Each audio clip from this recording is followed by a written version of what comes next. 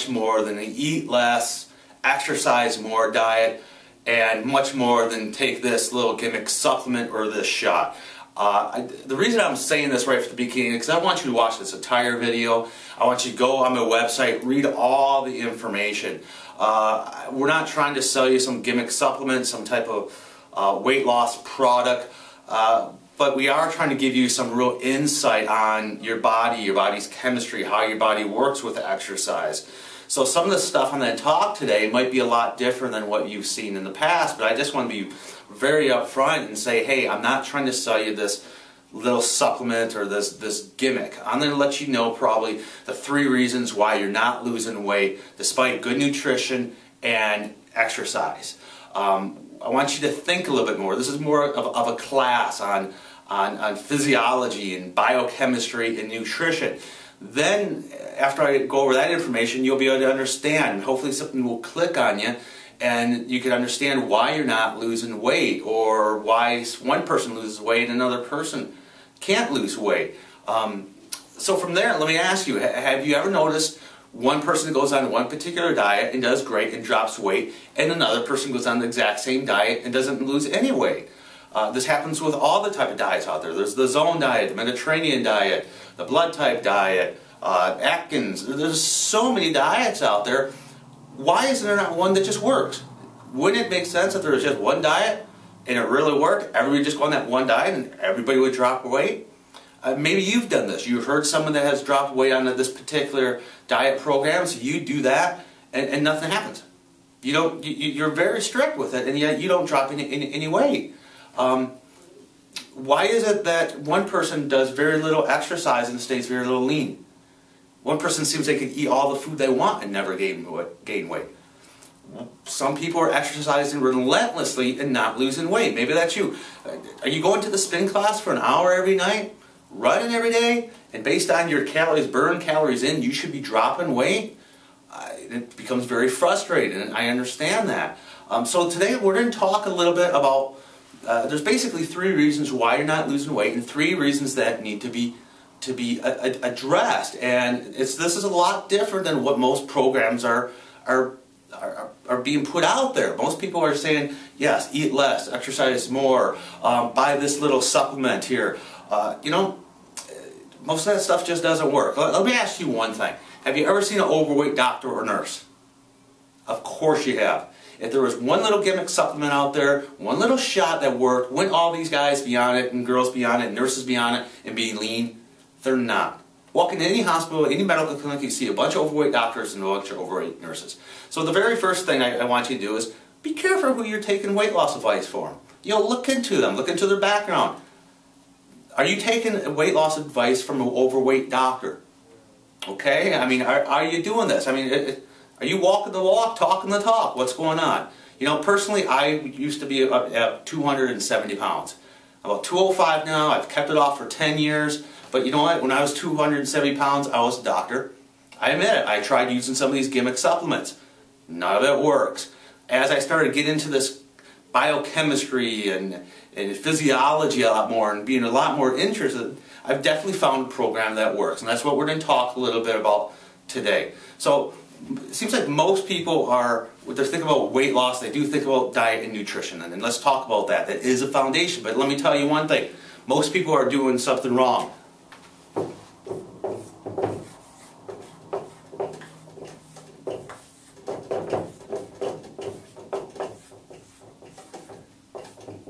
So number one things people are doing wrong.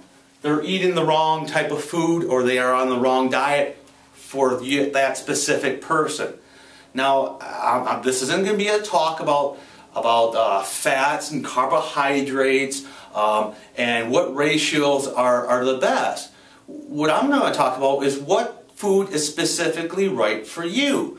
Now, if you're looking into some of the weight loss programs out there, you, will see eat right for your blood type, um, eat right for your body style. If you have a pear-shaped body style, you're a thyroid or body type, and you need to be eating for that specific body type. Uh, there's metabolic testing uh, where they, they they're talking about eat for your natural ability or your genes, your specific person.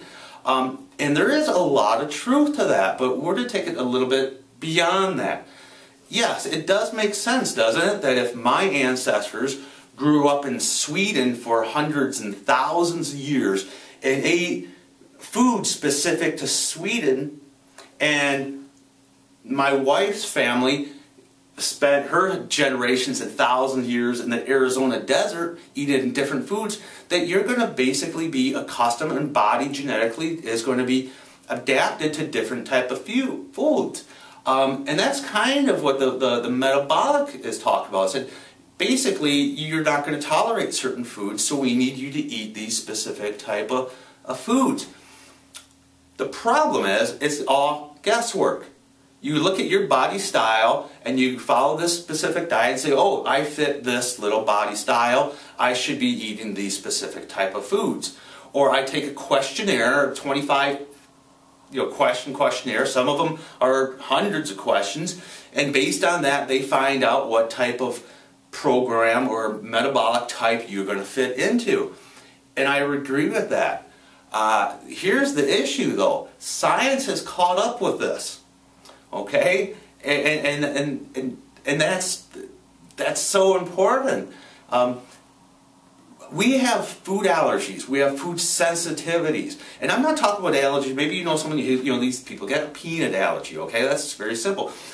Someone take a peanut, has an allergy, they can have a very severe reaction to that, to that peanut. Um, and so food has a definite reaction on on your body, on your body's physiology. There are certain people that are very allergic, you know, to salt, uh, shellfish, and they, they could die from these food allergies. Here's the key. There's a lot of different type of food sensitivities that you may have. You might be very sensitive to oranges, apples, grapes, uh, wheat, uh, different meats. So, you, but, but how do you know? Uh, how, how do you know if you have these? Because um, maybe some of these food sensitivities are, are so subtle that they don't cause this big reaction, but they cause a cellular response with your body that activates the body's immune system to, to react. And if your immune system reacts, you could cause inflammation, and that could lead to digestive problems, uh, stubborn weight gain, uh, just basically a whole variety of diseases.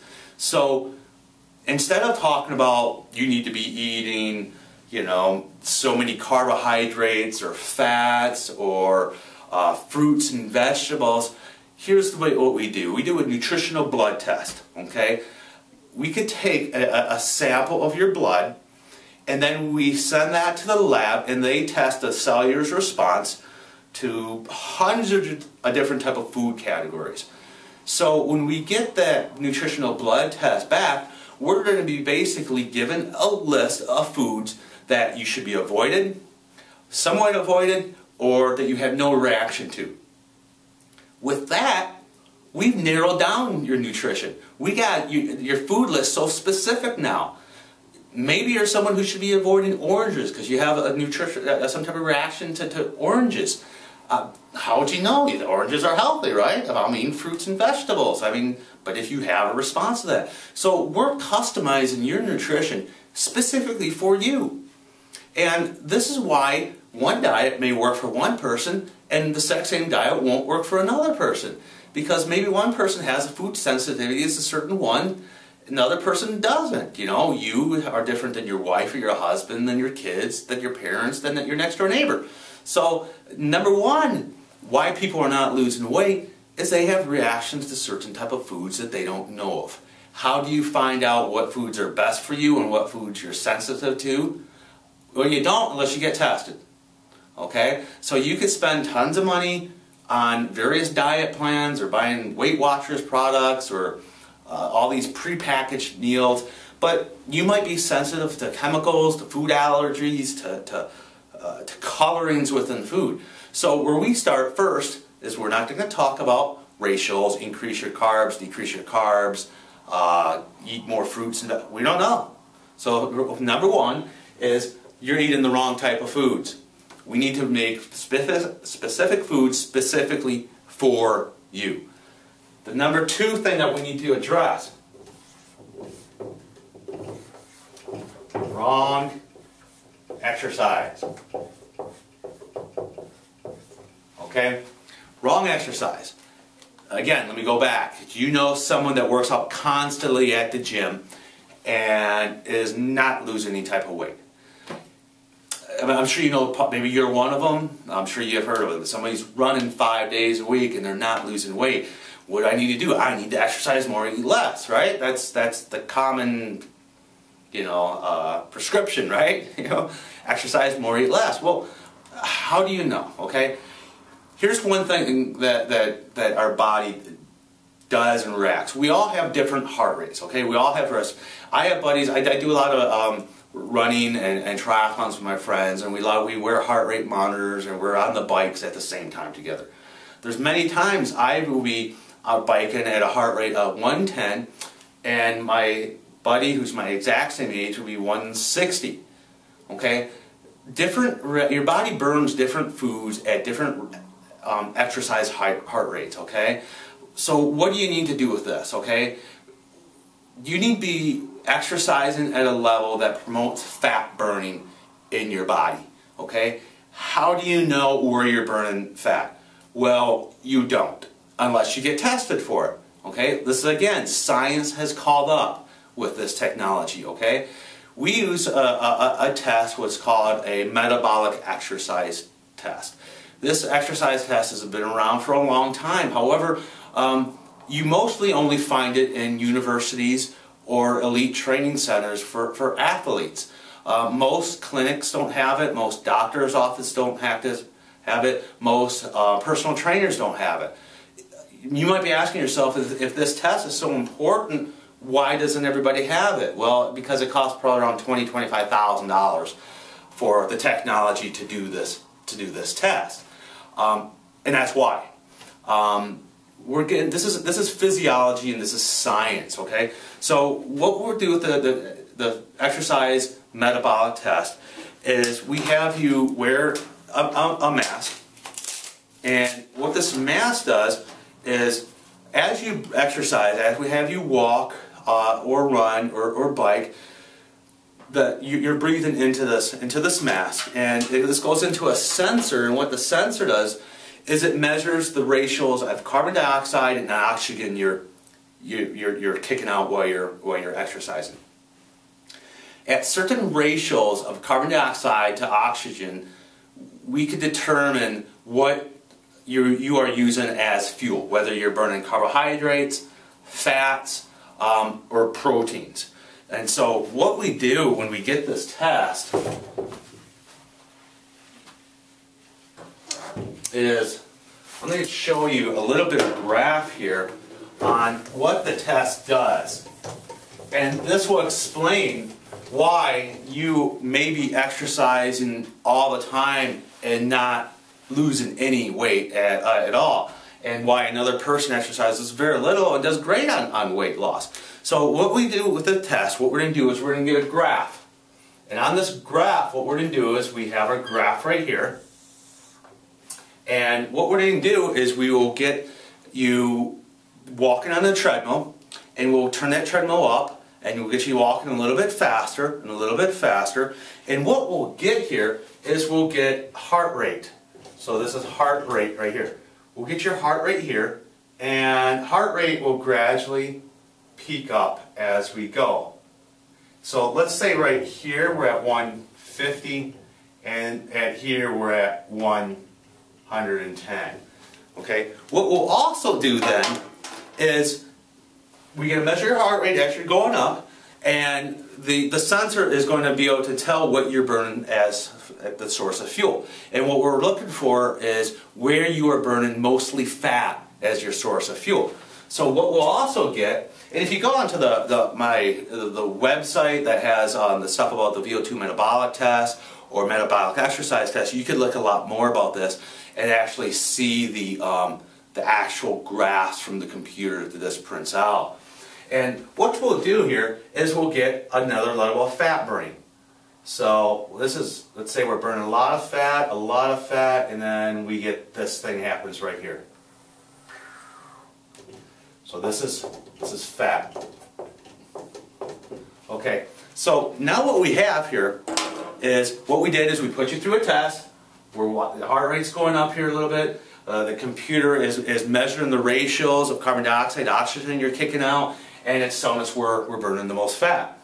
So what we'll see here is we go up here, we're burning a lot of fat, then as we get into this particular right here, the fat drops dramatically. Now these numbers, 110, 150, um, they're specific to you. They're, they're just like the nutritional test. It's specific for you. Even though you might be the exact same age as one of your buddies, you have different responses, okay? You have different resting heart rates, you have different exercise heart rates, you might be jogging together and one person might be at 100 heartbeats per minute and your buddy might be at 150. That doesn't mean necessarily one's fitter than the other or one is burning fatter. We don't really know. All these these heart rate numbers mean nothing unless we do this test and actually see what the data is. But this is what why a lot of you might be exercising a lot and not losing any weight. Because let's say right up in here, this point right here is 120. So what we're seeing here is at 120 there's very little fat burning. Okay? And at one, let's say 10 here, 110, 105, you're burning a lot of fat. Now again, we don't know what these numbers mean until we strap them on a monitor on you and put you in that spin class. But here's what a lot of people are doing. A lot of people are in that spin class, running, biking as hard as they can. They're out jogging, they're, they're doing the stair stepper, and they are right here. Let's say. They're at 150.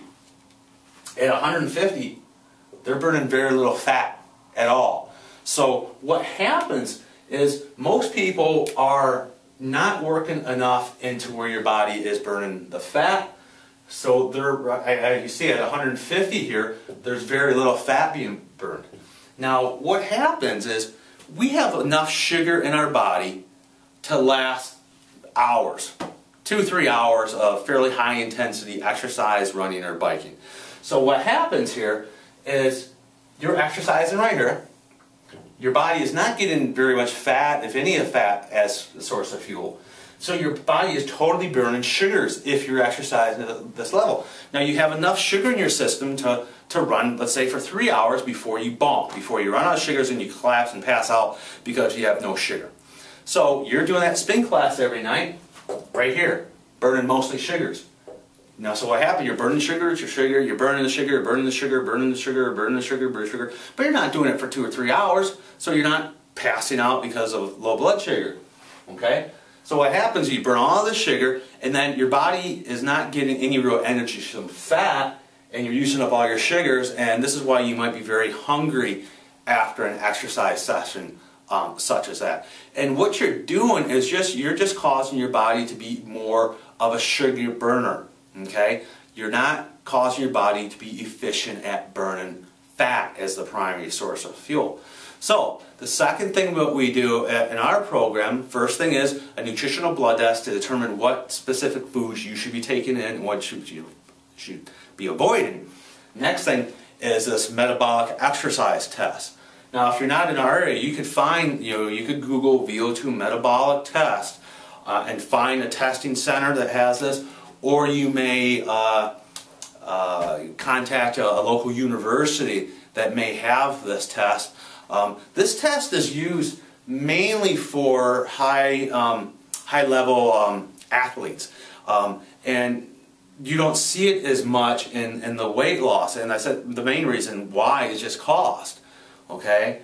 Um, but the reason why this is used a lot in high athletes, um, marathoners, Ironman triathletes, is because if you're going to do a triathlon that lasts anywhere from 8 hours to 17 hours, you need to take energy from your body's fat stores. If you're not able to take energy from your fat stores, that means you're dependent on eating during the entire you know, 8 to 17 hour Ironman triathlon.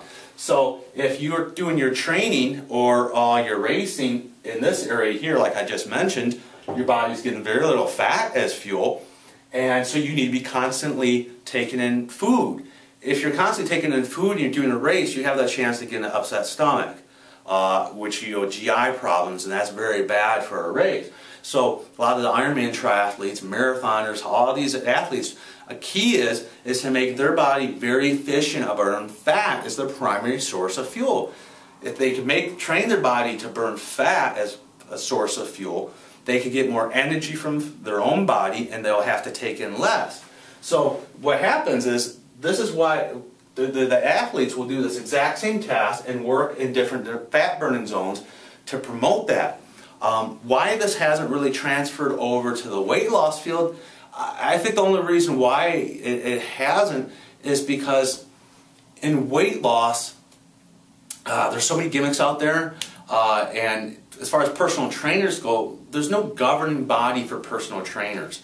Um, I'm also a, a, sports chiropractor. I had to have a certain level of education to become a doctor, and I have to take a certain level of continuing education to keep my license in Arizona, and there are certain exams I need to take. With personal training, there is none of that. You have a lot of trainers that have backgrounds in anatomy, physiology, master level degrees. You also have a bunch of guys that took an online course or a weekend seminar. Um, and, and say they're a personal trainer. So within you know weight loss and personal training, you have these really gaps between you know the, the certifications of, of, of, a personal trainer. And so some people just say, hey, just exercise as hard as you can and you know eat this or it's a lot more complicated for that. And, and, and that's why you have a hard time losing weight even despite your exercising.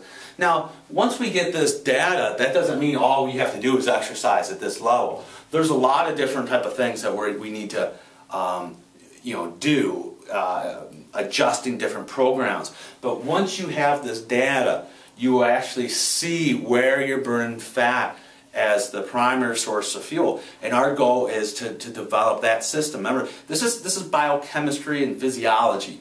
Um, this is real science. Uh, these metabolic testing are done at universities on top level athletes, and it should be done for you. Okay. Um, the last thing that we're going to talk about, the last thing that, as far as weight loss, why you might not be losing weight, is optimal hormone levels. And right now, I'm not going to talk about all the different type of hormones out there, um, but there are different hormone levels that typically decrease with age. And a lot of the anti-aging um, industry is basically saying, well, why does it have to?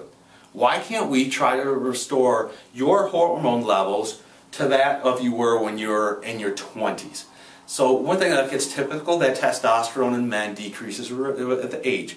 There's been a, a high association with low testosterone and stubborn body fat. Um, in women, DHEA. There's a there's a lot of different type of hormones. So, like I said, I'm not going to sit here and talk all right now about all the different type of hormones and what ones could actually um, cause you to um, lose the weight or what hormones might be low um, that might be um, hindering your weight loss.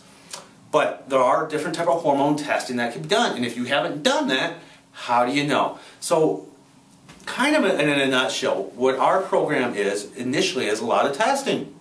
Find out what, you know, find out, you can spend tons of money sampling all these, you know, different supplements out there. Um, everybody's looking for uh, the, the, the, little supplement that's going to that's going to start to, to suddenly lose weight, you know, and, and take this supplement and get me energy. And you know what? Like I said, no one's starting with the foundation. And that's what makes our program so different than, than all the other ones out there because I see this every day and I don't see anybody doing this. I get emails from medical clinics and doctors trying to promote their weight loss program to us. They want, they want us to buy their weight loss program. And in these emails and videos these doctors send us, they're trying to tell us, you don't even have to have, be certified in nutrition. You don't even have to be in shape. Uh, one doctor said he made, you know, X amount of money his first month doing this weight loss program and he weighed 300 pounds. Come on, people, you're not that gullible. okay? Um, just because someone's a doctor or someone's a, personal trainer doesn't mean they know really what's going on. And it's customized for you. That's the bottom point, okay? With our program, um, and you could, you know, if you're not in the area, I'm sure you might be able to find someone or email me uh, we could do some of this stuff, you know, on online. Um, but what we need to do is we need to know, okay, we need to know what foods are specific for you.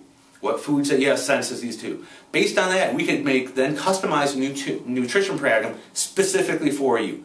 Now, this is great for weight loss, all types of health conditions. If you're an athlete, you need to seriously be looking into this program or, or that nutritional blood test. You spend all this money, $300 on bats, you're doing all this training, start the foundation. Start with finding out what foods are specifically right for you and what foods you should avoid. So what we're going to do is we're, we're going to do nutritional blood test to find out what foods are specific to do. We're going to do a metabolic exercise test. That's going to give us the data and it's going to give us a range of heart rate zones where you're using fat as source of fuel, protein, or carbohydrates. Based on that, what we could do is we could develop an exercise program specifically for you based on your specific heart rates where you're burning fat. Last thing is hormonal testing, and, and we may send you to an online lab, we may send you to a local lab for that. We'll get that data back, and we'll just look at and see if these are in the optimal areas.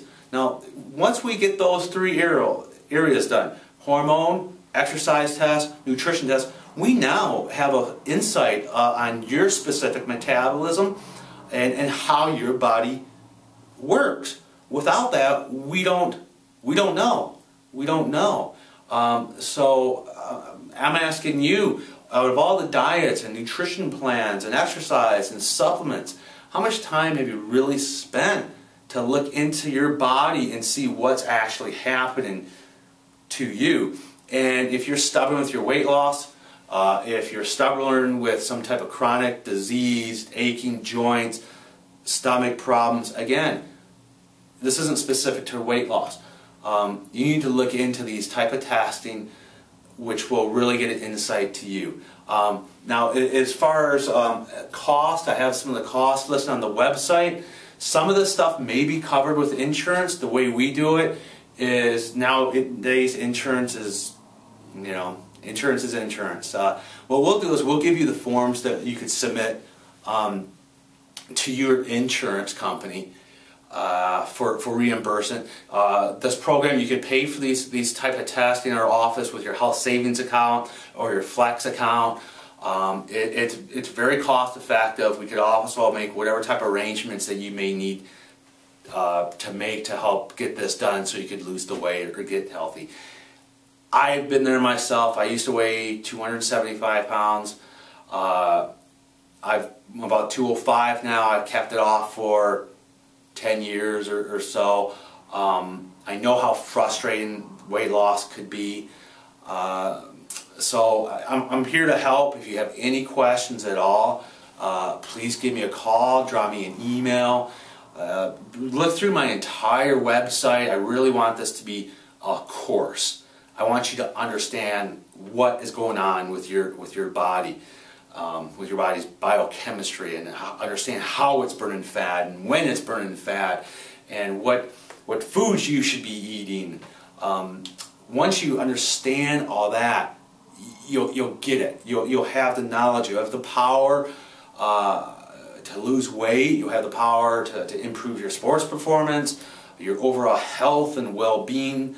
I mean, you could order these online prepackaged meal plans, spend thousands of dollars on that. You don't learn nothing.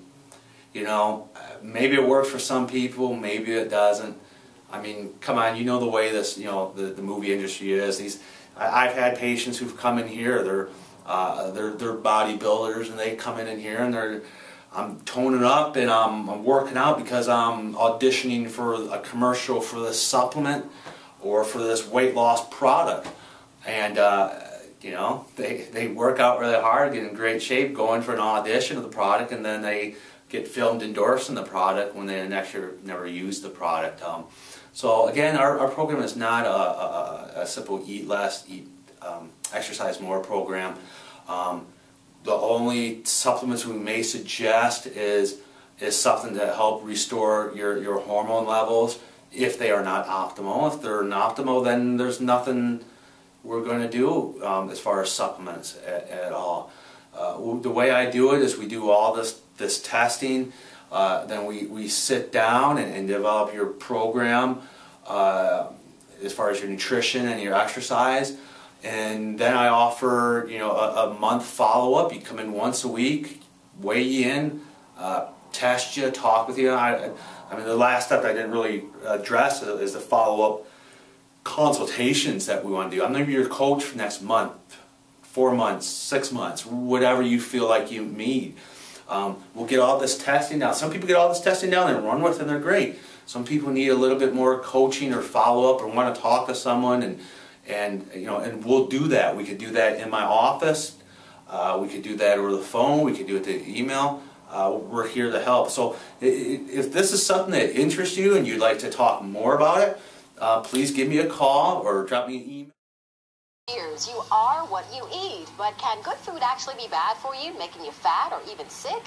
A Florida-based company claims to have a blood test that will tell you what foods your body can't tolerate. Our Linda Hurtado has the story in today's Taking Action for Your Health report. You would think being a professional football player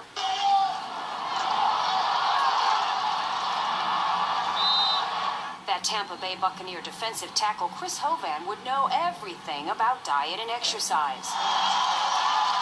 It is definitely lunchtime. And so would his family. Can you spit your gum out, please? But they recently learned that food sensitivity had a huge impact on their health. Peaches. And they made some changes like any diet, it's hard to stay away. They took away all my favorite stuff, I'm not going to lie. But at the same time, you can't put a price and you can't, you know, on, on your health. I can see that I've lost some of my body fat. Um, and I think that can only be beneficial to me as the season comes. Their diet changes came about after the Hovans took a test called ALCAT. It's a blood test that's supposed to list the foods your body has built up an intolerance to. The parents took the test in hopes of clearing up some of their children's health issues. Some more peaches? As well as some of their own. My husband also has a lot of acid reflux and heartburn, and um, i was always tired, um, runny nose, sore throat, and so, you know, this was like our last option. We had tried all the antibiotics. Creators say the ALCAT checks for food intolerance at a cellular level. Technicians are looking for sensitivities, not allergic reactions. An allergic reaction typically happens immediately, a sensitivity usually builds up over time, triggering the body's immune system, causing inflammation. The body can withstand so much toxicity. And then when you exceed that level, then there's a breakdown. And breakdown in this case means the breakout of some symptoms, which could be migraine, arthritis, the inability to lose weight, and so forth. Yeah, we stopped all the pasta sauces. They stopped getting diaper rashes. The Hovans got the results and some nutritional counseling on the foods they needed to eliminate from their diets. Foods in the red area of this chart should be cut out completely. Foods from the yellow or orange area should be eaten in moderation, and foods from the green are a go. Chris had built up an intolerance to red meat. We're just getting frustrated. A staple of his diet for years. Both he and Jamie showed sensitivity to cow's milk.